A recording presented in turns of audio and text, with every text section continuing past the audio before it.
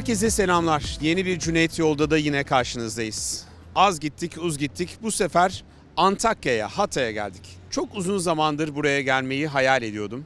Özellikle gastronomideki e, son yıllardaki yaptıkları atakla, e, şehrin değişen yüzüyle, çehresiyle e, gezmek istiyordum.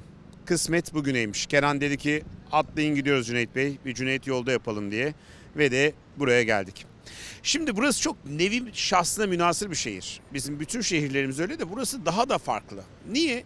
Çünkü biliyorsunuz e, Mustafa Kemal Atatürk için rüyasını gördüğü, hayalini kurduğu, Türkiye topraklarında görmezsek olmazsa olmaz dediği ama sağlığında göremediği sonradan 1939 yılında Türkiye'ye e, dahil olan bir cumhuriyet. Sokak aralarına girdiğinizde donmuş sanki zamanın dondurulduğu bundan 50-60 yıl önce e, yapılan çeşitli binaların aynen kaldığı özellikle burada Hatay Büyükşehir Belediyesi'nin yeni renovasyon ve restorasyon e, projeleriyle geliştiği bir şehir görüyorsunuz. Müzesi çok güzel, çok ilginç bir karakter var. Şupuliliomus. Doğru mu söylüyorum Kerem? Şupulilima. Bir türlü söyleyemiyoruz ama yakında bununla ilgili size bir sürprizim olacak. Belki de şu anda Anadolu coğrafyasının gördüğü en ilginç heykellerden birini sizlere götüreceğim. Elbette oturup yiyeceğiz. Kebap kebap Türkiye'yi dolaşırken Antakya'ya gelip yemek yemeden kalkmayacağız ama tepelerde yer alan Expo alanında gezeceğiz. Sokak aralarında üniversitelerin, gençlerin takıldığı barları, kafeleri de göstereceğiz. Eğer daha önce hiç benim gibi Hatay, Hatay ya da Antakya'ya gelmediyseniz atlayın peşime düşün. Atlayın bizim arabaya. Gelin şöyle dalalım Antakya sokaklarına.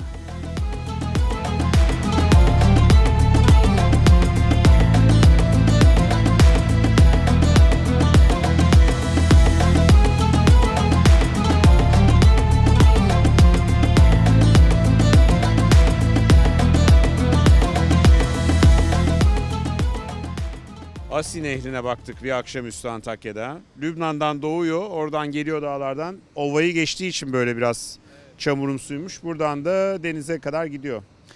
Şimdi Fatih'cim şurayı gösterdim mi? Burası eski meclis binasıymış ama aslında özel mülkmüş. Bir dönem sinema olarak kullanılmış. Yani sanatsal filmler gösteriyorlarmış.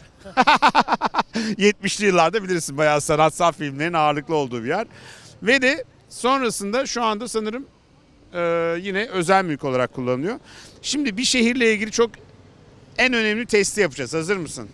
Bir şehrin ışık olmayan bir yaya geçidine geleceğiz. Bakalım araç duruyor mu durmuyor mu? Antakya için test vakti. Dur bekleyelim biraz daha şöyle arabalar gelsin. Bir şehrin ruhunu belki de nasıl olduğunu medeniyetin ne boyutta olduğunu test edeceğiz. Tamamen bak spontane test ediyoruz. Hazır mısın? Geldi araba. Işık yok. Var mı ışık? Yok.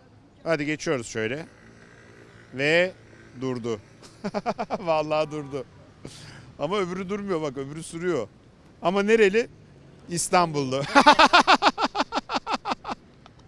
Ay Allah'ım ya. Direkt İstanbul'dan anlıyorsun. O bak yine medeniyet. Görüyorsun işte. Vallahi bravo ya.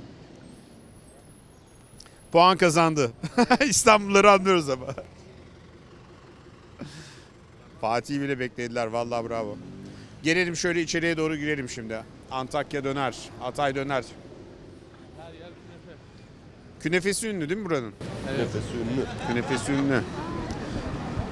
Siz buraya gelince neler çeviriyorsunuz anlat. Tamam ekranda görüyoruz ne yaptığınızı e, haberleri ama haber dışında ne yapıyorsunuz onu merak ettim. Yani haber dışında buraya gelince önce güzel bir öğle yemeği. Ee, böyle farklı farklı mezeler. Bin, bin bir çeşit meze.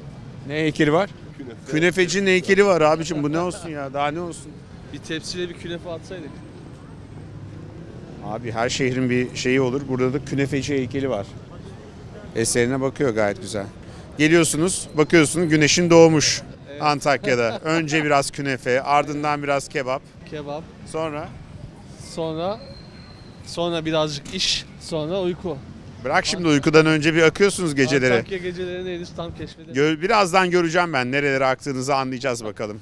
ben daha çok Şu ara Su- sokaklara giriyorum. Suriye Savaşı döneminde geldiğim için yoğun dönemde pek bir şey görmemiştim o sırada. Ama belki bu akşam Bu akşam bir şöyle bir yaşayalım bir Antakya gece hayatı ama pazartesine denk geldik. Şimdi nereye gitsen pazartesi zayıftır Evet, değil mi? aynen. Aman dikkat et Fatih. Pazartesi Barcelona'da da aynı şey var. Avrupa'nın her tarafında. Merhaba kardeşim. Eyvallah. Taş baskısı bir plakta, yorgun bir ses gıcırdar. Eski sayfalarında bir albümün gülümser o soluk fotoğraflar. Sen bu şarkıları bilmezsin. Biz üniversitede bu şarkıları dinlerdik. Neyse Antakya'da bu şarkıyı bana hatırlattı. Yeni türküden. Şimdi bu eski şehirleri nasıl koruyorlar? Orası önemli bence. Sokak aralarına girdiğin zaman renovasyon nasıl yapılıyor? Turizm Bakanlığı ne kadar destek veriyor, veriyor mu vermiyor mu? Bunlar da çok önemli. Çünkü Turizm Bakanlığı'nda acayip bir bütçe var. Yani ne haber o ne ya? Sarı mikrofon. Abicim yani biz de çekim yapıyorduk. Merhaba ne haber? Hoş geldiniz bu arada. Söyleşi mi yapacaksın benimle? Soru soralım mı abi? Hadi gel beraber. Buyurun Özkan Bey. Hazır mıyız? Kardeşlik. Bu da ilk kez oluyor hayatımda. Merhabalar efendim. Merhabalar efendim. Merhabalar. Nasılsınız? İyiyim sen nasılsın? Çok iyiyiz. Sizi gördük. Enerjinizi aldık efendim. Günümüzün e, günün sorusu şu. Sosyal medyanın kralı kimdir Türkiye'de? Kenan Taş. Ee, bir sorumuz daha vardı. Neydi arkadaşlar? Heyecan yaptınız söyle. Onu heyecanlandı sizi görüyor. Evet, e, unuttum abi. Sen bir şey sor. Siz burada mı yayın yapıyorsunuz? Geziyoruz ama merkezimiz burası. Merkez burası. Evet. Ne soruyorsunuz genelde? Söyleşiler. Eğlence tarzında siyasetten uzak. Kavga ettiriyor musun? Doğruyu söyle. Yok. Eğlence, dans, müzik bizimkiler. bekliyorum birisi telefonu soracak çıkartacağım telefonu. Al telefonu. Aslında mimarı burası. Yani Hatay'da çıkıyor birçok fenomen. Evet. Çok başarılar derim. Çok teşekkür ederim. Çok memnun oldum. Eyvallah. Sonra mı çekilelim fotoğraf anımız olsa olur mu? Yok, abi? bu- bundan daha yanı var mı? Çek, al, alın arkadaşlar. Şöyle bir anımız olsun. Abi Siz de baksana. gelebilirsiniz. Şöyle şey olsun.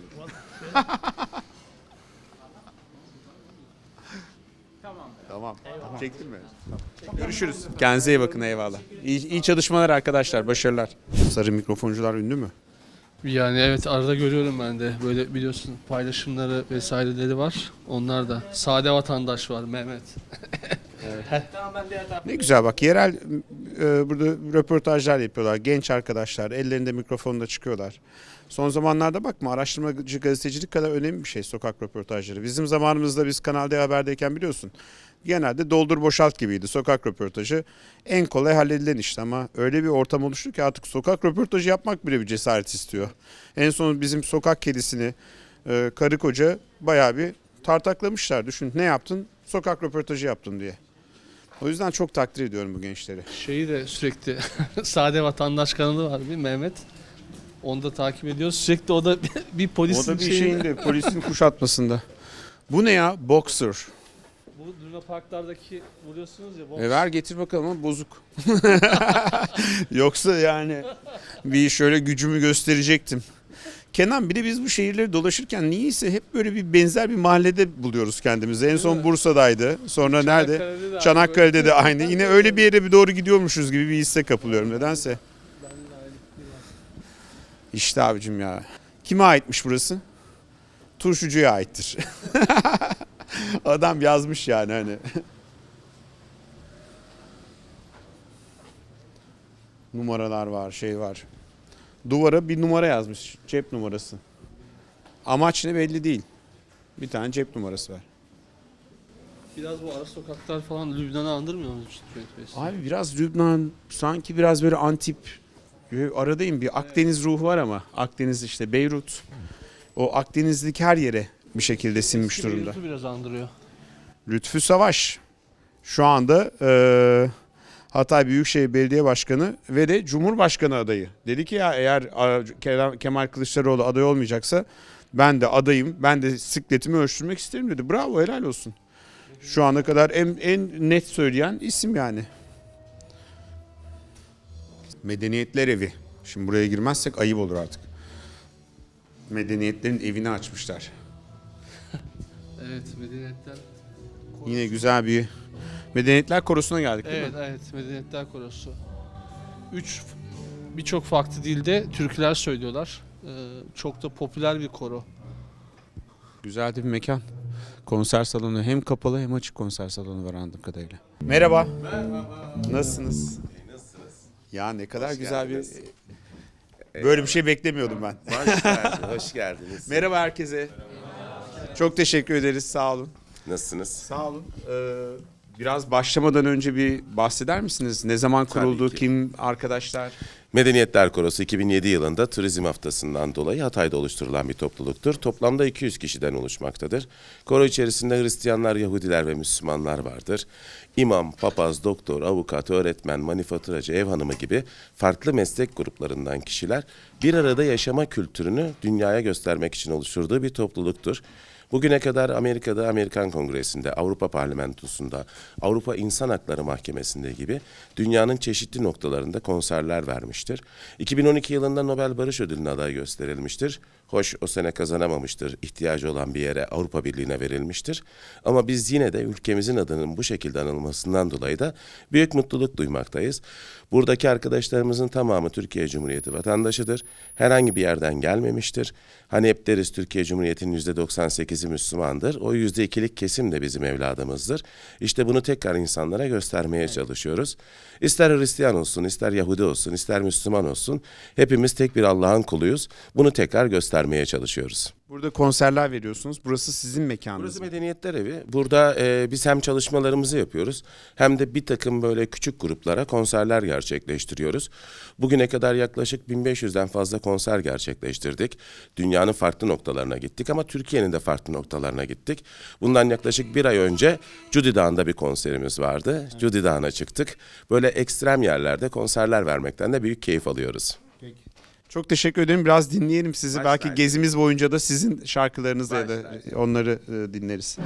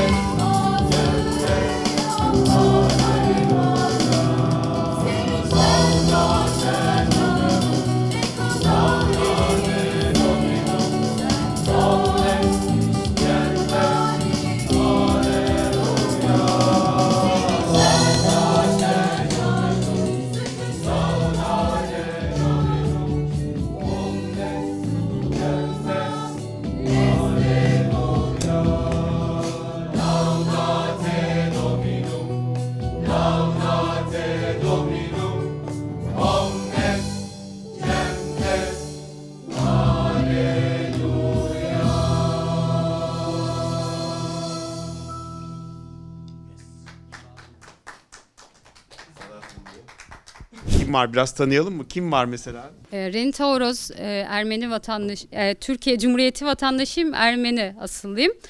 E, 2010'dan bu yana koro üyesiyim. Devam da edecek inşallah. Öyle Peki profesyonel mi yapıyorsunuz bu işi yoksa başka işiniz var mı? profesyonel değil, e, müzisyen arkadaşlarımız dışında herkes bir mesleğe e, mensup farklı e, mesleklerden arkadaşlarımız var. Ben de belediyede çalışıyorum, kamu personeliyim. Süper. Aynen. Başka? Siz neredensiniz? Siz ne iş yapıyorsunuz? Ben Hüda Bozok. 2013 yılından beri koro üyesiyim. Ee, adliyede memur olarak çalışıyorum. Ne kadar güzel. Evet. Başka? Sizden böyle birkaç kişiye sorayım. Emekliyim. Ee, Alevi cemaatine mensubum.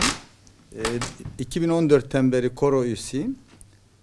Evet. Ee, bu kadar bu şekilde. Adınız neydi? Ee, ismim Cemil Reyhanioğlu. Peki. Çok teşekkür ederim. Tebrik ederim. Müthiş bir korosunuz. Çok sağ olun, var olun. Bize katıldığınız için. Sağ olun.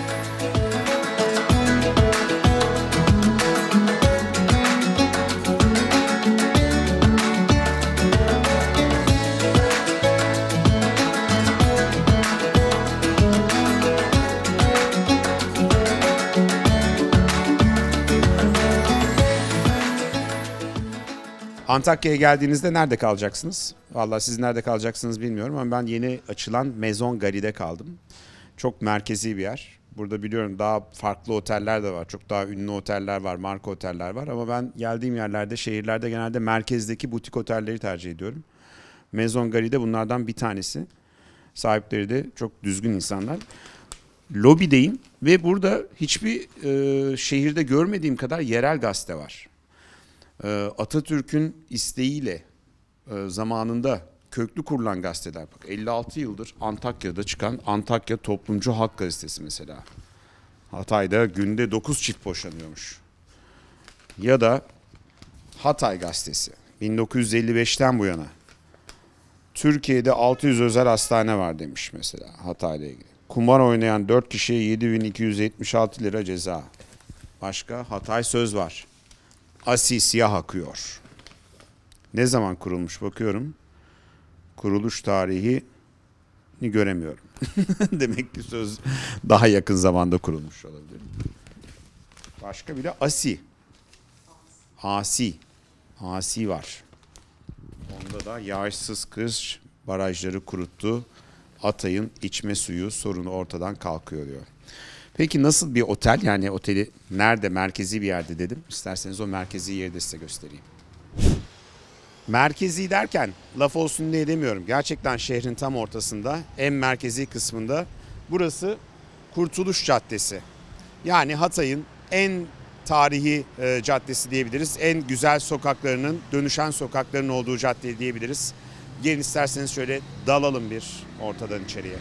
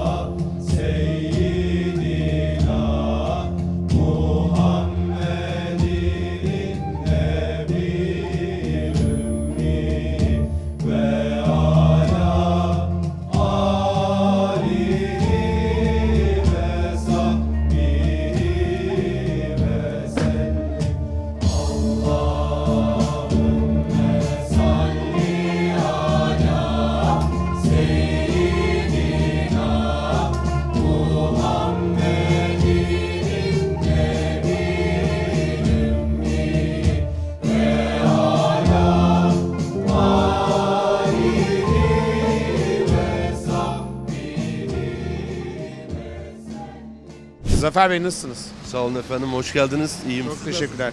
Doğma büyüme Antakyalısınız. Doğma büyüme Antakyalıyım. Antakya mı diyoruz Hatay mı diyoruz ona bir karar verelim. Merkez ilçede olduğumuz için Antakya diyoruz. Hani biz ben merkez ilçedenim. Ama e, Atatürk'ün bize koyduğu isim e, il olarak Hatay. E, Hatay Atatürk'ün biliyorsunuz şahsi davasıdır. Neredeyiz şu anda? E, Hat- Antakya'nın en eski caddesindeyiz. Antik dönemlerden be- beri kullanılan bir cadde. 2000 yıllık bir cadde burası Cüneyt Bey. Adı Kurtuluş Caddesi günümüzde. Türk askeri bu caddeden kışlaya giderek bayrak çektiği için Fransız bayrağı indiriliyor, Türk bayrağı asılıyor. Caddenin adı Kurtuluş Caddesi Ve oluyor. de ilk aydınlatılan İlk cadde aydınlatılan tarihte, cadde. dünya tarihinde. Evet, o zamanki adıyla Kolonatlı Cadde, Herod Caddesi de denmiş. Yahudi bir kral sponsor olmuş bu caddenin kolonatları dikilirken. Sanırım yükselmiş durumda değil mi? Bunun altında aslında birkaç metre altında Yapılan- orijinali var. Tabii 4-5 e, metre aşağıda şehrin aslında yer yer 7 metre kolonatların, sütunun, ana caddenin e, döşeme taşlarının dur- e, durduğu İstanbul Üniversitesi'nin yaptığı bir araştırmayla ortaya çıktı. Arkamızda Affan kahvesi var. Ünlü müdür Affan kahvesi? Çok Neyi, ün- nesiyle ünlü? Çok ünlü bir kahve. e, son zamanlarda destinasyon noktası oldu. Haytalısıyla meşhur. Nesiyle? Bugün haytalısı. O ne? Haytalısı nedir? Haytalı bici bici dediğimiz hani e, nişasta ve buz ve gül Evet, suyuyla evet, servis evet, edilen bir tatlısıyla, serinletici bir tatlısıyla ünlü. Bu da çok eski bir mahalle Cüneyt Bey. 1500 yıllara kadar uzanıyor tarihi. Zaten sur içindeyiz. Bu gördüğünüz mahallelerin tamamı e, Osmanlı dönemi e, mimari özellikleri gösterir. Toplamda 26 sur içi mahalle var Antakya'da. Ve de gördüğüm kadarıyla dinlerinde buluşma noktası. Evet. İşte bakıyorum orada cami var. Caminin Hemen duvarın duvarında e, Katolik Kilisesi çaprazında hani yol üze- e, güzergahımızda sağda e, Yahudilerin Yahudi cemaatimizin bir havrası var. Bu burası üç semavi dinin e, merkezi durumunda. ve de yani nereye başımı çevirsem minimum bin yıldan başlıyor hikaye. O tabi dediğiniz gibi minimum bin yıldan başlıyor. Hristi- e, Yahudi cemaatimizin Antakya'da 2400 yıllık bir tarihleri var. Hristiyan cemaatimizin 2000, Müslüman cemaatimizin de 1500 yıl. Ve birbirleriyle ilgili bütün problemleri binlerce yıl önce hallettikleri için hiçbir zaman aralarında problem olmamış. Şöyle biraz ara sokaklardan da yürüyelim istiyorum. Bunlar renovasyon yapılıyor. Bunlar Osmanlı'ya ait taşlar mı? Şu anda üzerine bastıklarımız. Daha evveliyatı var mı sizce? Ee, biz sanat tarihçilerine göre daha evveliyatı var. Çünkü e, günümüzdeki haliyle tabii ki bir Osmanlı dönemi e, döşeme taşlarını andırıyor. Fakat taşların e, Roma döneminden beri zaten aynı yerde olduğu, Osmanlı da bunu tekrar düzenleyerek ortasına kanallar, kanaletler açarak aynı taşlarla kaldırım dizdiğini düşünüyoruz. Yani şu an bastıklarımız muhtemelen Roma dönemi taşlarıdır. Zaten e, bazı sokaklar yapılıyor, bazı sokaklar yapılmış. Büyük bir dönüşümün içinde gördüğüm kadarıyla. Değil mi? Antakya kendi içinde özellikle bu sur içi dediğimiz yer. Evet Cüneyt Bey artık çoğu, çoğu büyük bir kısmı ticari işletmeler olarak kullanıyor. Küçük butik oteller, restoranlar, kafeler, barlar. Ee, dönüşümde hem Hatay Büyükşehir Belediyesi hem de valiliğin çeşitli projelerle e, kentte sağlıklaştırma projelerine ağırlık verdiğini görüyoruz. Keza Uzun Çarşı öyle meşhur bir çarşımız. Çok büyük, e, birçok işletmenin bir arada olduğu bir çarşı. Tabii birazdan Expo'ya da gidip bakarız orada ne oluyor ne bitiyor. Şimdi bir yandan da ben Hatay'a, Antakya'ya geleceğim dediğim zaman gel bak Fatih şu yolun güzelliğine bak. Bunlar şahane. Sizin renovasyonunuz bir yandan insanları teşvik ediyorsunuz herhalde kendileri de renove etsin diye. Restore etsin diye. uygulamalarda destinasyon noktası olarak gözüküyor. Antakya sokakları yazdığınız zaman bile. Tabii. Hem sokaklar meşhur hem sokaklardaki bu evleri görmek istiyorlar. Evler çok güzel. e, büyük bir kısmı avlulu e, şey e, e, taş yapılar ve e, bu evlerin de biz hem dış cephelerini hem çatılarını hem de gördüğünüz üzere kapılarına kadar tamamını Hatay Büyükşehir olarak restore ediyoruz. Aslına Şimdi uygun olarak. buradaki evlerde bir avlu var. Bu avlu aslında Anadolu evlerinde de çok olan bir şey değil mi? Avlunun ayrı bir işlevi ve anlamı var. Neden böyle bir avlulu evlerde yaşıyor insanlar? Oradaki işlev ne? Aslında Cüneyt Bey antik dönemlerden beri böyle. Avlu as- hayat demek. Hayat e, odalarda yaşanmıyor. Aslında avluda. Yani sosyalleşme avluda oluyor ve insanlar o dönemlerde kışlıklarını kışlık yiyeceği ürünleri avlusunda hazırlıyor. E, avlu olmazsa onun dumanı isi nereye gidecek? Şeyi nerede depolayacak? Odununu nerede depolayacak? İşte Reçelini nerede reçelini yapacak? Salçayı nerede kaynatacak, salçayı nerede Büyük kaynatacak? Avlulara ihtiyaç duyuyor. Kimi kimilerinde küçüktür, kimilerinde daha büyük. Hane sayısıyla alakalı. Burası da ilginç bir şekilde gelişmiş. Yani güzel bir gelişme var. Bak burada Nevizade diye bir ne yazmışlar? Canlı müzik fasılı varmış herhalde. Bir dünya para değil insan bir- biriktireceksin. Ercan Kesal'ı çizmişler ya. Nevizade Fasıl Sokağı mı? Akşamları canlanıyor mu burası? akşamlar Gençler geliyor mu? Kalabalık oluyor, canlı. E, sokaklar e, işte ticari işletmelerle doldu taşıyor. Ve bu evlerde e, gördüğünüz üzere çoğunda da restorasyon süre yani diğerlerinde de restorasyon süreci devam ediyor. Bu sokaklar çok canlı akşamları. Çok güzelmiş o yani. Biraz İstanbul Karaköy'ü böyle güzel bir dönüşüm yaşadı onu görüyorum. Tabii yeme içme mekanları da çok şey değil mi? Gastronomi çok önemli. Ee, Yeme içme ile ilgili e, tabii ki şimdi e, Türkiye'de en son e, turizmlerinden biri e, gastronomi turizmiydi. E, yüzyıllar öncesinden biriktirdiği e, müthiş bir mutfağı var e, Hatay'ın. 2017 yılında da gastronomi kenti ilan edildi UNESCO tarafından. E, hem gastronomi turizmi için hem doğa turizmi için hem de deniz turizmi için bir destinasyon noktası Hatay. Yani bir sahil, e, Samandağ sahilleri dü- dünyanın en uzun sahilleri arasında gösteriliyor. Ama tabii ki sizin dediğiniz gibi gastronomi çok ön plana çıkmaya başladı bu diğerlerine nazaran. burası bayağı böyle barlar sokağı gibi. Öyle bir yerde miyiz yani şu an? Öyle bir yerdeyiz. Mesela bakın burası Zeytin Dalı Kafe. Hemen yanı yine restoran. Hemen diğer yanı e, butik oteller. Kenan sen daha önce gelmiştin herhalde buralara. Çok güzel. Siz buraya mı geliyorsunuz? Buraya mı geliyorsunuz? Burası sizin mekan mı? Ya abicim ne zaman ne kadar geldiğinizde burada mekanınız oldu ya. Ne var burada bakayım? Restoran. Restoran. Merhaba, ne haber? Ne kadar güzel bir yermiş. İnşallah yemeğe de geliriz. Görüşürüz. Merhaba Ferhat'cığım. Teşekkür ederim. Şöyle mi gidelim? Heyecan bu taraftaysa bu tarafa doğru gidelim. Çok beğendim ya. Ne kadar güzelmiş böyle. Heyecan her yerde. Genç, burada üniversite var mı? Tane Hatay'ın üniversitesi var. Biri Mustafa Kemal Üniversitesi. e, Antakya merkez ilçede. Diğeri de İskenderun Teknik Üniversitesi. İskenderun ilçemizde. Evet. İki üniversitemiz var. Biraz önce gastronomi dedik. Hangi yemekler öne çıkıyor? Hangi birini sayabiliriz ki? Böyle bir önden mezelerden başlayalım. son çalıştayda yani Hatay Büyükşehir Belediyesi'nin ve valiliğin ve e, STK'ların beraber yürüttüğü bir çalıştayda uzun yıllardır 600 rakamı zikrediliyordu. Fakat o çalıştayda görüldü ki daha bunun içine tatlılar, şuruplar, alkollü içecekler de eklendiği zaman 1040'ın üzerinde lezzet var Hatay'da. 1040. 1040. Ee, tabii ki ya ön, en ön plana ne çıkar derseniz e, biz artık böyle hep künefeyle anılmak istemiyoruz. Künefe bir sadece bizim bir tatlımız. Bizim e, damak çatlatan ana yemeklerimiz. Damak çatlatan. İyiymiş ya. Ne kadar güzel bir sokakmış ya. Şahane. Ee, bir de şey hoşuma gitti. Yani sadece otantik mekanlar yok. Böyle sokak aralarında gayet modern kafeler, barlar da var. Restoranlar da var. Daha lokal yerler de var. Onların birleşimi güzel olmuş. Antakya'da gördüğüm kadarıyla. Ee, şehir e, 1900'lü yıllarda bile e, operaların, tiyatroların yer aldığı bir kent. Hoşgörü kenti, e, medeniyetler kenti denmesinin nedeni sadece 13-14 medeniyete ev sahipliği etmiş olmamız değil. E, Birçok yeniliğe e, Anadolu'daki diğer kentlerden daha çabuk adapte olmuş, ilk daha doğrusu ilk adapte olmuş kent burasıdır. Bak burada bir plakçı var mesela. Vay anasına sayın seyirciler.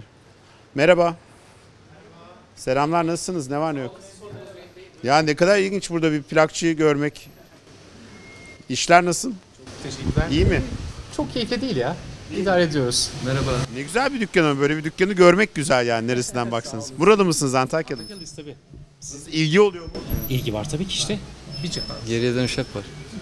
Efendim? Eskiye dönüş hep var. Öyle mi? Öyle. En, şu ara en çok satan plak hangisi? Her zaman Zeki Müren. Zeki Müren. Her zaman Zeki Müren. Çok güzelmiş. Görüşürüz. iyi günler. Eyvallah hocam. Ne kadar güzel ya. Yani oradan bak çıkıyorsun matbaa. Tabii çekelim gel. Sen ne iş yapıyorsun? Öğrenciyim. Hadi gel çekelim. Kusura bakmayın Zafer Bey. Eyvallah. Görüşürüz hadi bay bay. Böyle bir zamanın donduğu bir şehre gelmişiz gibi hissediyorum. Böyle her anlamda ama. Ya da biz tabii şimdi sur içinde olduğumuz için. Çünkü dışarıya çıktığımızda yeni Hatay var değil mi? Tabii biraz sonra mesela gideceğimiz yer artık e, yeni Antakya. Birçok kamu binası, işte kaymakamlık, emniyet müdürlüğünün falan e, yeni Antakya'ya kaydı. Oraya yeni binalar yapıldı. E, buralarda da e, sit alanı olduğu için trafik problemimiz var. E, yatırım yapmakta güçlük çekiyoruz. Büyükşehir Belediyesi de, e, Antakya Belediyesi de öyle. Kurtuluş Caddesi'nin sonuna geldik.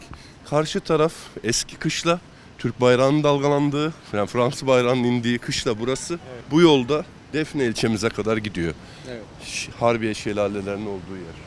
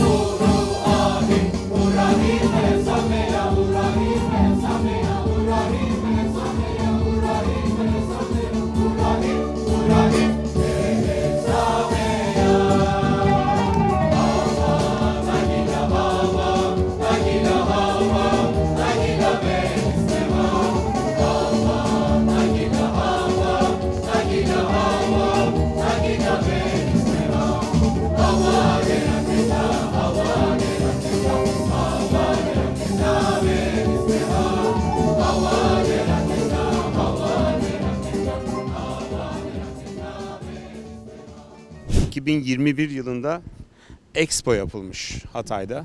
Bu binalarda e, onun için biraz böyle Hatay'ın dışına inşa edilmiş. Zaten Hatay'a yukarıdan bakıyoruz. Geniş bir alan, farklı binalar var. Büyük bir konser salonu görüyorum aşağıda. Sanırım bir park var. Bir oyun parkı var. Tematik çeşitli mekanlar var. Şimdi gelin isterseniz bir de buraya kadar gelmişken dediler ki ya Hatay'ın bir de modern bir yüzü var. Size orayı gösterelim. Expo'yu gezdirelim. Bir de içinde çok çok önemli, çok değerli bir eser var. Onu da muhakkak görmenizi istiyoruz. Biz de dedik ki başımız, boynumuz kıldan ince. Hadi bakalım.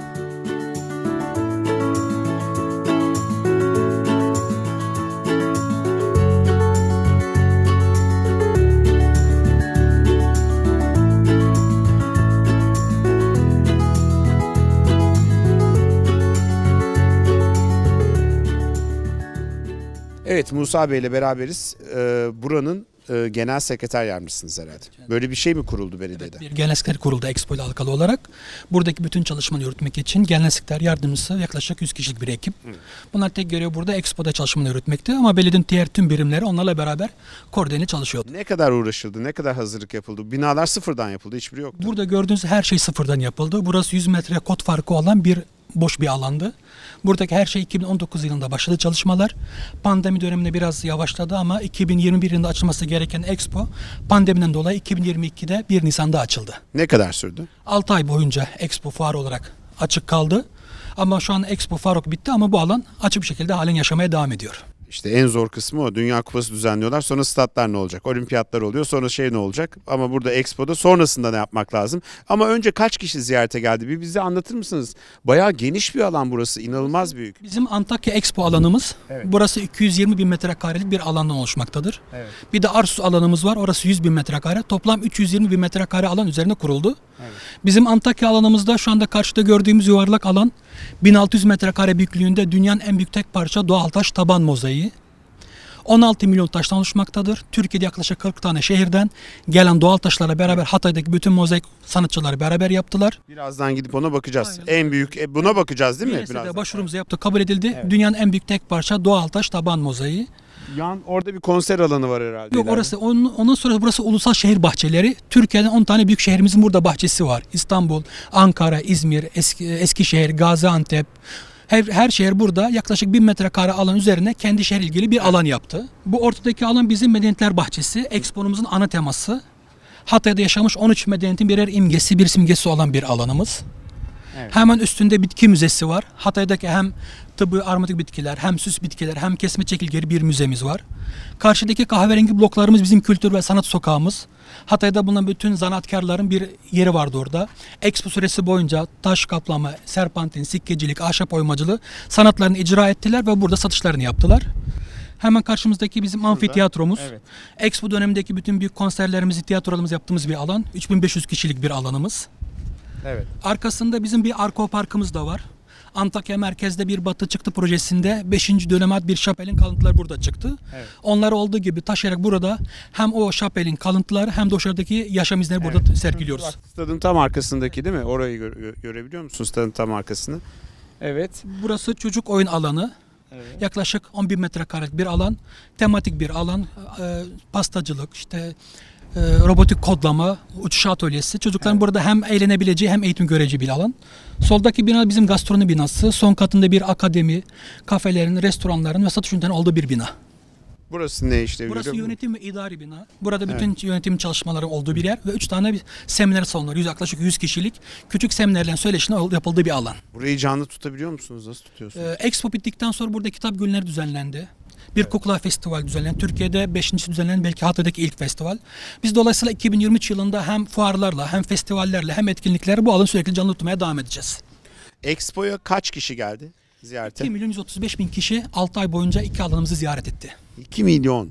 Evet. 2,5 milyon. 2 milyon 135 bin, 2 milyonu 135 geçtik. Normalde bizim beklentimiz 1,5 ile 2 arasıydı. Pandemi olmasına rağmen 2 milyonu geçtik. Şu şeyi merak ediyorum. Gidip oraya bakalım. Dünyanın en büyük mozaik müzesi. Şimdi buradan giriş yaptık ve buradan merdivenlerden iniyoruz aşağıya. Ortak varoş mozaik tasarımını Mustafa Kemal Üniversitesi- Üniversitesi'ndeki hocalarımızla beraber yaptık. Onlar tasarımı yaptıktan sonra Hatay'da bulunan bütün mozaik ustalarını toparladık. Yaklaşık 400-500 usta 5 ay boyunca kendi atölyelerinde bir yapboz şeklinde her kendi kısmı düşen kısmın tasarımını yaptılar ve sonra o yapbozun parçaları toplanarak burada birleştirildi. Basabiliyor muyuz üzerine şey mi? Tam merkezine doğru gidelim. Yaklaşık 40 farklı şehirden doğal taşlar getirdi. Bunlar hepsi orijinal kendi renkleri. Hiçbir boyalı bir taş değil. Her elden kendi doğal taşı getirildi ve burada şu anda mozaiğimizin tam ortasındayız, merkezindeyiz. Burada da şöyle bir şey diyebiliriz. Bir hayat ağacı. Yukarısına çıktığın zaman üç farklı ağacı dönüşüyor. Zeytin, defne ve çınar ağaçları. İçerisinde Roma döneminin mimarisi var. İskender ve Darius'un savaşını temsil eden iki tane atımız var. Siyah ve beyaz atlar o dönemle ilgili olarak. Asi Nehri'ni, e, buradaki bütün bitki çeşitliliğini, Hatay'da yaşamış her medeniyetin bir simgesini barındıran bir tasarım. Çok vallahi ilginç. İşin en büyük özelliği de farklı atölyeler yapıldıktan sonra buraya getirildiği zaman bunların birebir birleşmesi ve uyumlu bir şekilde olması o çok çok önemliydi. Aksi takdirde 4-5 farklı mozaiğe dönüşebilirdi. Burada baktığınız zaman mesela şöyle bir şey söyleyeyim. Bir haç görüyorsunuz. Davut yıldızı var ve bir ay yıldızımız var. Bunlar birleştirdiği zaman bir eşkenar üçgen oluşturuyor. Burada da şey mesajı vermek istiyorum. Hatay'ın bütün dinlere, bütün inançlara eşit mesafede olduğunu. İçerisinde yaklaşık 39 tane yıldız var. Bunlar da Hatay'ın ana vatana katılışı 1939'u simgeliyor. Her alanda bir gizem, bir farklı bir yapı oluşturulmuş. Yenisa'ya başvuru yaptıktan sonra ikinci bir başvuru için de kendilerine bize teklif geldi. Taş adedi olarak 16 milyon taşın kullandığı bir mozaik yok. Şimdi onu da başvurusuna başlıyoruz. Evet. İkinci bir ödül de oradan da olacak. En fazla doğal taşın kullanıldığı tek mozaik olarak o ünvanı da alacak. Şöyle bir tasarım da yapıyoruz burada. Burada bir odayla, VR gözlüklerle tek parça bir şekilde görmesi için onun için bir çalışmaya da başlattık. Normalde tek parça görebilmek için minimum 10 metre yükseklik olması lazım. Evet. O da biraz sıkıntı yaratırdı diye o kısmına girmedik. Peki. Çok teşekkür ederim. Sağ olun. Devam edelim Hatay gezimize. Lay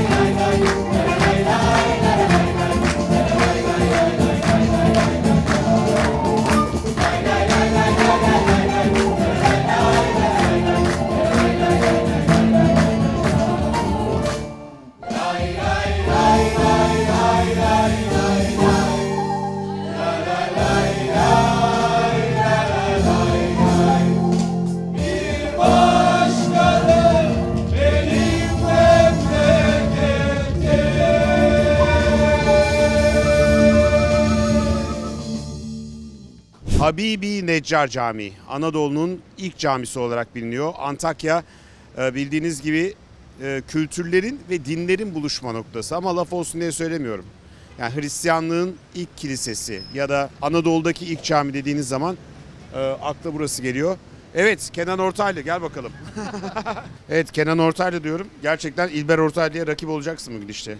İyi ki bir tarih bölümü mezunusun ya. Altı dil hariç okey. Olur ya sen de bir 30 yıl daha yaşaman lazım. Yaşanmışlık da gerekiyor.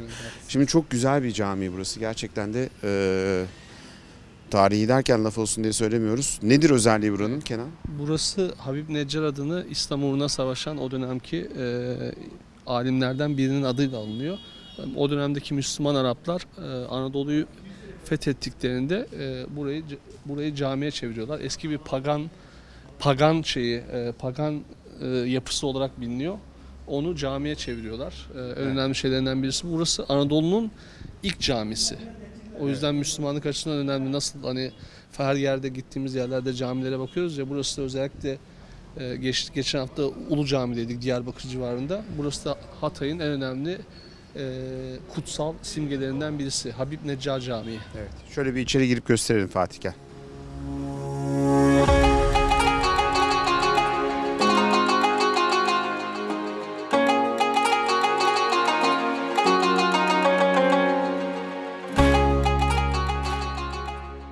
Buraya kadar gelmişken uzun çarşıya gelmeden gitmek olmazdı. Afiyet olsun. Eyvallah hocam. Gözlemeciler. Arkana dikkat et. Aman. Fırınlar, kasaplar. Burada ilginç bir şey var. Kasaplar aynı zamanda restoran. Görüyor musun? Gel bak. Merhaba, ne haber? Nasılsınız? Sağ olun, teşekkür ederim. Kasaplar aynı zamanda restoran? Restoran derken buranın meşhur yemeği var. Tepsi kebabı, kağıt kebabı. Kasaplar da yeniyor. Üst katlar geniş. Her kasabın küçük göz. Peki pişirmeyi burada mı yapıyorsun? Fırınımız var. Karşı fırın bizim. Ha burada Tabii, ş- tabii, şey hemen yapıyor. anında. Sipariş burada veriyorsun. Yapıyoruz. Pişiriyoruz. Yiyorsun. Aynen. Ne kadar bir porsiyon? Bir porsiyon 60 lira. 200 gram. Eyvallah. Teşekkür ederim. Şey sağ olun. değil. Bak birisi bunu düşünse belki dünya çapında adam ünlü olabilir. Değil mi Kenancığım? Mesela bir kasap düşün. Kasapsın aynı zamanda yemek pişiriyorsun. Ulan Nusret değil mi bu? ne haber abi? Ne yapıyorsun? Sen ne yapıyorsun? Hiç abi eve gidiyorum. Nereden geliyorsun? Ha, okuldan. Kaçıncı sınıf? 7. 7. Evet. Aferin. Adın ne? Ahmet. Abi Sen- hangi kanal? Senin adın ne? Arda. Arda kardeş misiniz? Kuzeniz. Montlardan anladım ben zaten kuzen olduğunuzu. Hangi kanal çekiyorsun? YouTube. YouTube. Adı ne abi? Cüneyt Özdemir. Dur dikkat et arkana. Dikkat. Hadi görüşürüz. Bayağı güzel, otantik. Ne ararsan var. Ne bunlar? Krep. Hoş geldiniz. Merhaba. Cüneyt Bey. Nasılsınız? Ne var ne yok? İyiyim, Siz nasılsınız? Nedir bu? Bu taş kadayıf Cüneyt. Taş kadayıf. Evet. Ya sık kadayıf ya taş kadayıf. Vallahi buna benim olan krep diyor yani. Çok Ama ona. orijinalinde zaten bunun ismi taş kadayıf. Evet, krep değil. Tre- Krepte yağ ve yumurta var. Bunda yağ yumurta yok. Bunun unu sarı zaten. Evet, Şerbet, şerbetli mi? Şey? Şerbetli ceviz içiyle yapıyoruz bunları. Bu ne? Bu künefemiz. Antakya'ya bağlı. Evet, Antakya'nın yöresinin, Hatay yöresinin künefesi bu. Burada da Bu kadayıf da, yapıyorsunuz. Evet, yani. kadayıf, tel kadayıfımız. Kaç yıldır bu işi yapıyorsun? Ya Çocukluğumuzdan beri işte 7-8 yaşından gider geliriz bu çarşıya. Nasıl işler? Ekonomik kriz etkiledi mi sizi? Tabii ki herkesi etkilediği gibi bizi de etkiledi. İşsizlik oranı yükseldi zaten. Ama bakalım kısmet ne olur bilmiyoruz. Kolay gelsin. Teşekkür ederim. Sağ olun. Bayağı bir fırın var yalnız. Ha? Fırın kasap, fırın kasap. Burası ne? Peynircilik. İmalat da varmış bak orada. Merhaba. Evet sayın seyirciler. Teyzem evet sayın seyirciler diye programa girdi ya. Güzel bir çarşı. Bir de karışık. Yani yiyecek de var.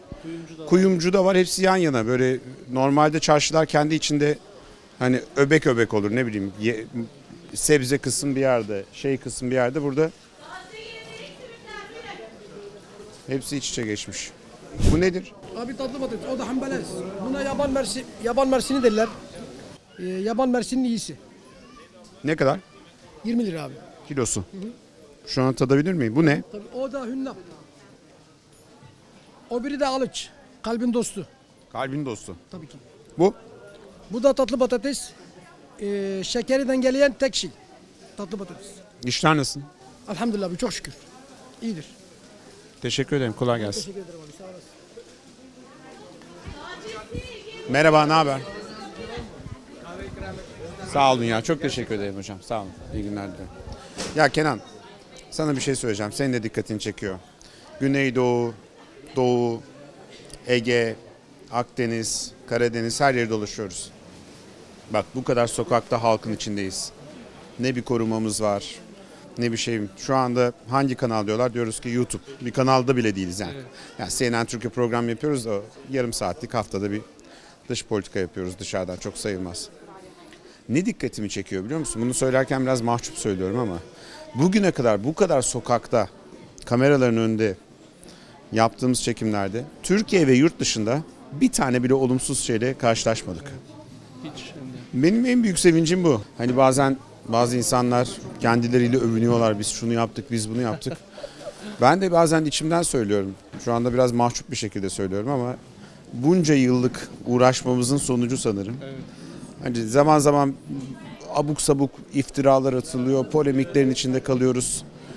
Bin tane tuhaf şeyin içinde kalıyoruz ama sokakta müthiş bir sevgiyle karşı karşıyayız. Bir tek ben değil sen de. Sen de star, starsın artık yani onu görüyorum yani. Ara sıra kıskanmıyor da değilim. Es- Estağfurullah Cüneyt Bey.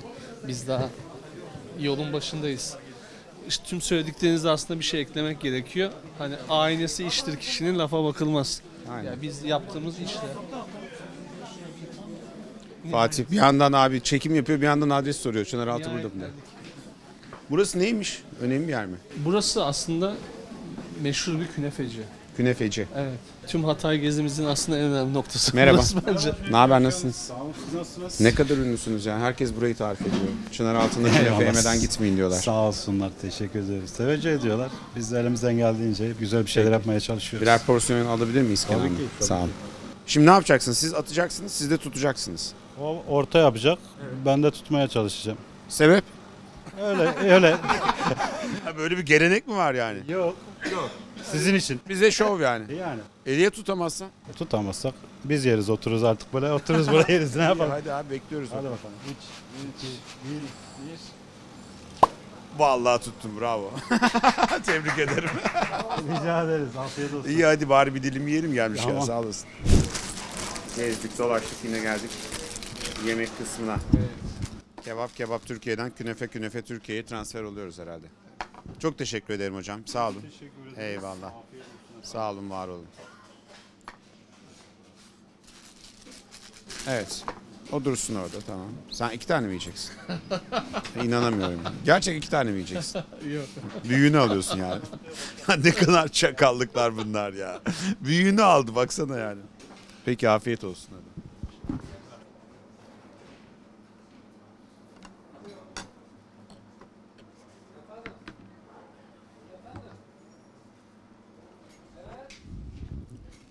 Bu çok ağır bir şey ya. Yani bunu yiyince öğün ara öğün gibi bir şey bu yani hani. Ve de büyüğünü yiyorsun üstelik. Fatih hadi sen de ye. Buradan da arkeoloji müzesine gidelim hep beraber.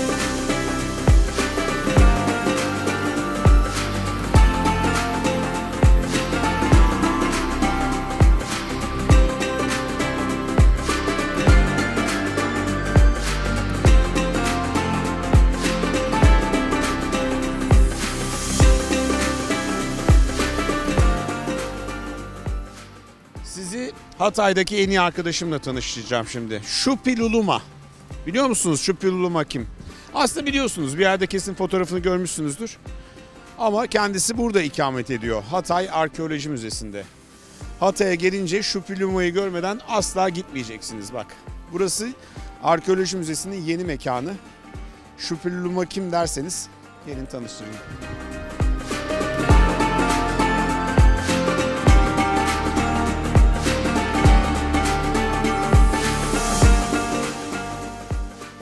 Doğu'nun kraliçesi Antakya.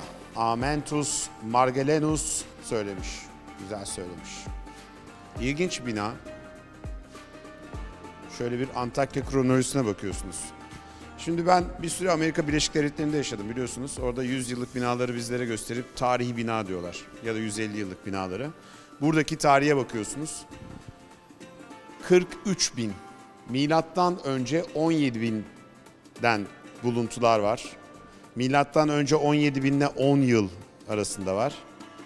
Ve de geliyor böyle milattan önce falan diye 2000'lere geliyor. Aa işte bizim yakışıklı. Milattan önce 1200'de milattan önce 600 yıl arasında bir yerlerde yaşamış. Kim bu? Gelin biraz içeride göstereyim. Tarihe bakar mısınız abicim? Tarih dediğim böyle bir şey işte. Yoksa 150 yıllık binaları tarihte yutturmak kolay. Evet Hatay Arkeoloji Müzesi'ni iki arkeologla geziyoruz. Ali Bey ve Eren Hanım. Şu anda bu müzeyi diğer müzelerden ayıran ne? İlk olarak onu sorayım. Hatay Arkeoloji Müzesi öncelikle e, dünyanın e, en büyük e, mozaik koleksiyonu açısından dünyanın en büyük mozaik müzelerinden bir tanesi.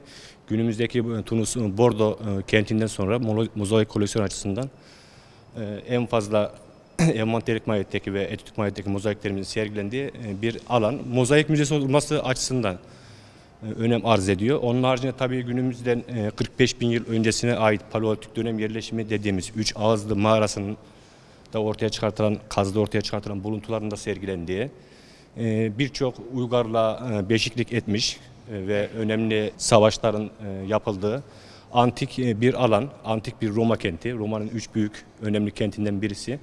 Ve o dönemdeki çeşitli buluntuların kronolojik bir zaman çizelgesine göre sergilendiği önemli teşhir alanlarımız var. E, Bu alan Şu anda mesela Eren Hanım burası kazıların yapıldığı yerler burası mı? Bu bu müzedeki şeyler burada Harita mı? 1960'a ait. Daha sonraki de 2014 yılında bu bölgede yapılan e, kazıları anlatan bir harita belirlemişler yerlerini kırmızı noktalar. Şu anda kazılar devam ediyor mu hala? Kaç kazı var? E, Kültür ve Turizm Bakanlığımız e, tarafından desteklenen e, 12 aylık e, ve e, 6 aylık dönemlerle yapılan arkeolojik kazılar haricinde Bakanlığımız ve Kültür Varlıklar Müzeleri Genel Müdürlüğü'nün izniyle yapmış olduğumuz çeşitli kurtarma kazıları var. Tabii ki bunlar içerisinde acil müdahale gerektiren ve anlık olarak gelişebilen kurtarma kazıları da yapıyoruz. Şu an 4 tane kazı çalışması Hatay ve çevresinde devam ediyor. Sağ tarafta gördüğümüz haritada e, Amik Ovası ve çevresinde e, büyük yerleşim, antik dönem yerleşimlerini Burada. burada görüyoruz. Özellikle e, 1960'lı yıllardan itibaren e, kurutulmaya başlayan Amik Gölü ve çevresindeki e, arkeolojik alanlar burada e, ziyaretçilerimize görsel bir e, sunu oluşturması açısından burada Evet. sergileniyor. Ve sanırım e, müzeyi belki de bütün dünyaya duyuran en e, önemli buluntulardan bir tanesi Müzemizin- Şupilulva. Müzemizin unik eserlerinden birisi e, geç e, Hitit imparatorlarından Kral Şupliliuma'nın e, bir anıtsal büstü. Bazalttan yapılmış bir heykel. Resimde de gördüğünüz gibi kazıda ortaya çıkartılışının göstermesi açısından önemli. Kral Şupliliuma sol elinde buğday başağını ve sağ elinde mızrağını tutuyor. Tabii sol elindeki tutmuş olduğu başak bölgenin bereketli topraklarını simgelemesi açısından önemli. Yine sağ elinde tutmuş olduğu mızrak kralın e, gücünü göstermesi açısından önemli. Yine kollarında e, bazubentleri ve aslan başlı bileziklerini görebiliyoruz. Gözleri niye böyle? Bu çok dikkat çekiyor. Pek çok kişiye komik geliyor. Bu bilerek mi abartılı yoksa gözleri gerçekten böyle miymiş orijinalinde tahminen? Tabii antik dönemdeki özellikle e, krallıkların e, ve yönet o dönemin yöneticilerini e, toplum nazarında üstün olduğunu göstermek açısından bu şekilde anıtsal boyutlarda heykeller yapılmış ve onun bazı uzuvlar tabii ki abartılmış e, da olabilir. Özellikle baş kısmındaki e, başlığı dediğimiz başlık e, bölgesel bir üslup. Özellikle Kuzey Mezopotamya, Suriye bölgelerinde çok fazla karşımıza çıkan bir unsur. Gözleri kalkma yöntemi dediğimiz bir teknikle oluşturulmuş ve tabii daha sonraki dönemlerde kazı sonrasındaki dönemlerde restorasyon geçirmiş şekliyle görülüyor burada. Anıtsal boyutlarda bir e, bazalt heykel günümüzden e, yaklaşık M.Ö. 9. yüzyıllara ait bir geç Hitit imparatoru. Özellikle gelenler buna ilgi çekiyorlar mı? Çünkü bayağı ünlü oldu değil mi bütün dünyada? Antakya'nın e, simgesi haline gelmiş bir eser Şupilirma. Bir de bu mu var acaba? Bunu da ben çok sık görüyorum. Ee, bu nedir? Bunlar yine bazalttan yapılmış anıtsal e, o dönemde antik dönemdeki şehirlerin e, girişlerini e, süsleyen anıtsal heykeller. Burada bir aslan heykelini görüyoruz. O dönemde krallığın gücünü, ihtişamını gösterme açısından bu tür buluntular bizim açımızdan önemli. Peki. Çok teşekkür ederim. Sağ olun. Çok teşekkürler.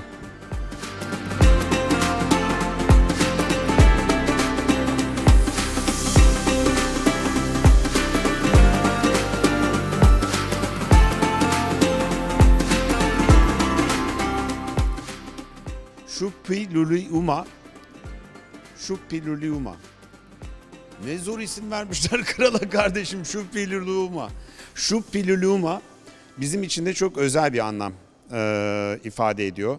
El ele tutuşacağız ve binlerce yıl sonra Şupiluluuma ile beraber uzun bir yolculuğa çıkacağız. Kim çıkacak? Ben çıkacağız. Kenan gelecek, Fatih olacak bir ekip olarak çıkacağız. Yakında sizlere yılbaşında duyuracağız. Ee, özellikle Anadolu toprağına ait e, bir simgeyi seçtik yol arkadaşı olarak. Diyeceksiniz ki neden bahsediyorsun? Söyleyemem şimdi ama yakında anlayacaksınız ne olduğunu. Ama yakında şu Pilulumayı bir kez daha canlandıracağız. Bir kez daha hayatın içine katacağız. Hazır burada bulmuşken yürü be kardeşim diyorum. Umarım uğur getirsin. Değil mi Kenan? Evet inşallah. Gerçekten çok etkileyici. En son sanırım Gaziantep Müzesi'ni gezmiştik. Orası da çok etkileyiciydi ama burası onunla yarışır diyebilirim. Bir de çok güzel bir müze yapmışlar. Güzel bir teşhir alanı var. Ne kadar güzel bir coğrafyada yaşadığımızı e, buraya geldiğinizde görüyorsunuz. Coğrafya kaderdir diyorlar ya. Buradan baktığın zaman da ne güzel bir kadermiş bakar mısınız? İnsanlar binlerce yıl önce milattan sonra 3. yüzyıl Antakya'sında bir evin tek odasının zeminini kaplayan mozaik. Halı. Zamanın halısıymış yani. Halı buymuş. Gördüğünüz gibi meleğe, uyuyan bir meleğe ne fırlatıyor? Termosu. Bilim insanları bunu açıklasın hadi. Ama espri de espriliymiş de. Baksanıza bir tane iskelet var mesela burada. Neymiş bu? İskelet mozaiği. Bir alegoriymiş bu. Ölüm temasının böylesine e, tem- temsil edilmesi hayata bir anlamda bir göndermeymiş. Bu tabii ki buradaki mozaiğin baskılı hali. Peki nedir bu? Neşeli ol, hayatını yaşa. Yaşamazsan ahan da böyle olursun. Hayat geçici. O zaman da böyleymiş, şimdi de böyle. Kenan, aldın mı mesajı? Neşeli ol, hayatını yaşa, künefeye. Onu ekleyebiliriz yine Antakya'da.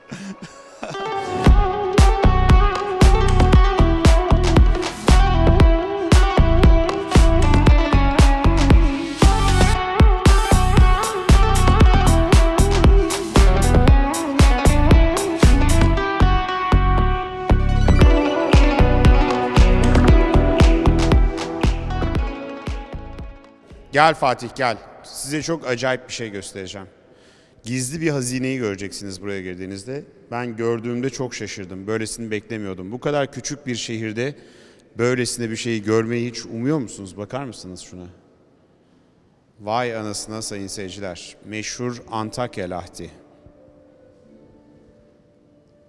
Adam sadece ailesinin değil, sülalesinin heykelini yapmış, dikmiş mezarının taşına, lahtine. Lahit dediğim mezar taşı işte.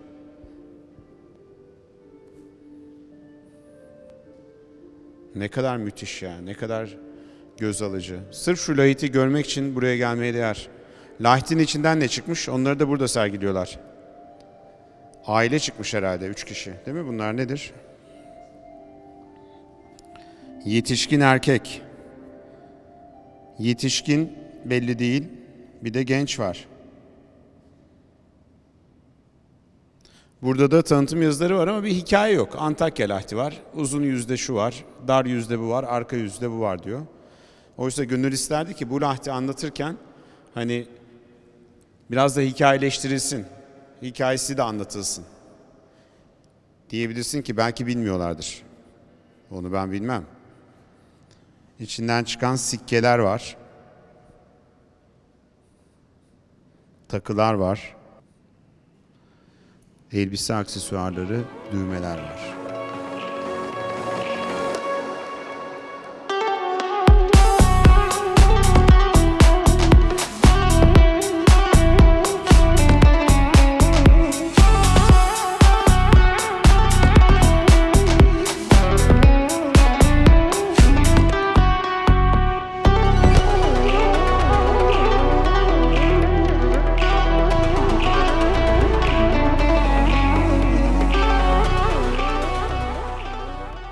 Pierre Anıt Müzesi'ne gidiyoruz. Antakya gezimizi tarihi bir mekanda bitirelim istedim. Antakya'ya gelince görmezseniz olmaz denilen bir kilise. Hristiyanlığın ilk doğduğu kilise olduğu da söyleniyor. Antakya'ya ilk kez geldim. Buraya gelir misiniz, gelmeli miyiz derseniz gelin elbette. Bir defa tarihini görmek için bile şahane bir yer. Ama gelmesi gereken bir tek siz değilsiniz. Mehmet Nuri Ersoy'u alıp buraya gelmemiz lazım. Değil mi Kenan? Çünkü yerel yöneticiler biraz Turizm Bakanlığı'ndan destek istiyorlar. Turizm Bakanlığı bir yere dokunduğu zaman da e, gerçekten nereye dokunsa e, bir anda bambaşka bir etki yaratabiliyor. Çok büyük bütçesi var bir de iş bitirici bir bakan olunca başında Kültür Bakanı pek çok şey yapabiliyor. Şimdi buradan baktığınız zaman özellikle e, eski burası Müzyum Otel'miş. Alt tarafı bir müze. Bu taraflardaysa özellikle kale içi çok iyi restore edilebilir, korunabilir.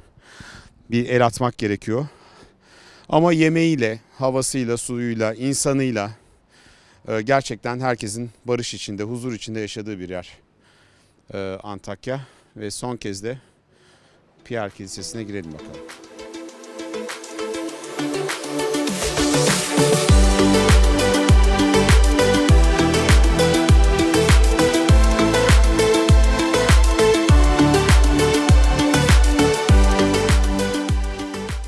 Evet, Saint Pierre Kilisesi'nde gezdiğimize göre Antakya'ya yavaş yavaş veda edebiliriz. Dediğim gibi Antakya'ya gelip görmeniz gereken e, tarihi şehirlerimizden bir tanesi. Ben çok geç kaldım. Neyse ki geldim, gördüm, yedim, içtim. Biraz da sizlere anlattım e, ve yavaş yavaş uçağımıza doğru gidiyoruz.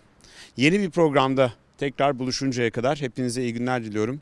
Ee, eğer siz de bu programda yer almak istiyorsanız bu ve bizim YouTube kanalımızdaki başka programlarda yer almak istiyorsanız Kenan'a bir e-mail atabilirsiniz. kenan.dipnot.tv e, adresine.